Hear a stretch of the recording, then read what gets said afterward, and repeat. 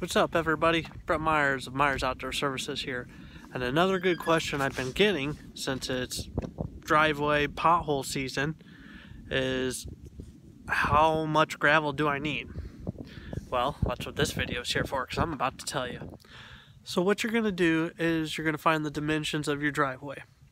You're going to measure it in feet, the length, times the width times the height. And the height is probably only going to be two inches if you already have a driveway and you just need a little jigger on top to get you by again. And then once you have that number, we're going to divide it by 27. And what that's going to do is that's going to give us cubic yards. And once we have cubic yards, then we can convert it into tons. And we're going to multiply that by 1.4 to get tons. And with doing that, then we'll know exactly how much gravel we're going to need.